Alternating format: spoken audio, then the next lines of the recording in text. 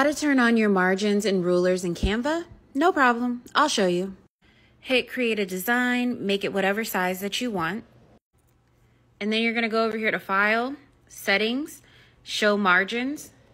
There you go for that. If you wanna add in the rulers, you just go to file, settings, show rulers and guides. And if you wanna add guides, same thing, file, settings, add guides. I typically do custom and I'll do a half inch margin.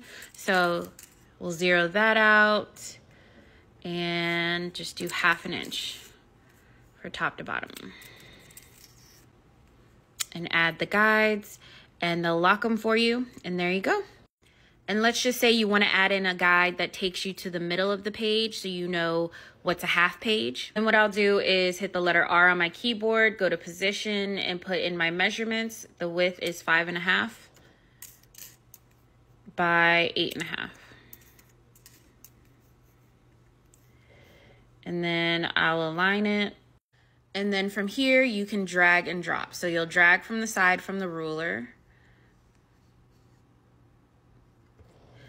And let's just say I want to drag to that line, we'll drag from the top. And then again, you can drag from the top and from the side.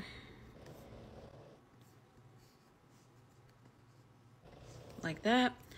And then if I delete that out, now we have our guidelines.